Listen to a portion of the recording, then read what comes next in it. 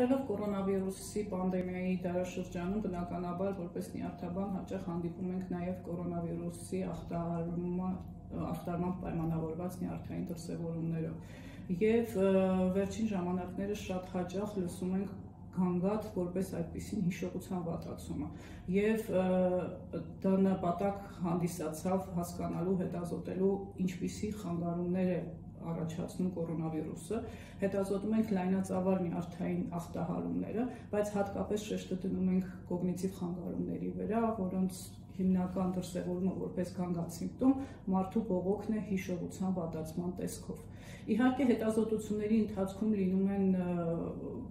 պատճառներ ախտահարման օբյեկտիվ պատճառներ հիշողության, բայց բարգացու ավելի հաճախ հանդիպում են կենտրոնացման խնդիրների հետ, ուղղակի վերջնական եզրակացություն անել արդյոք այդ կոգնիտիվ խանգարումները կայուն բնույթ են կրում անցողի կամ իրենցից ինչ են ներկայացնում կպահանջվի ժամանակ հետազոտությունների արդյունքները վավերացնելու եւ հրապարակելու համար բայց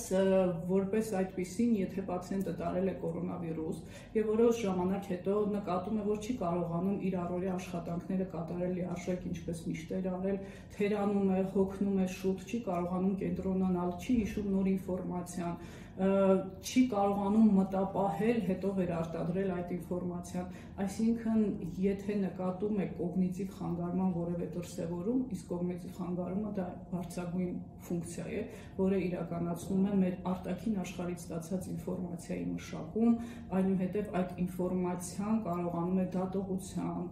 քննադատության, տրամաբանության միջոցով իհարկե օգտագործելով հիշողությունը ինտեգրել արտաքին աշխարհը սեփական ներաշխարհի հետ, փորձել հասկանալ աշխարհը։ Դա բարձրագույն ֆունկցիաներից ու կարևորագույն ֆունկցիաներից մեկն է, որովհետև դրա վնասման դեպքում մարդը դառնում է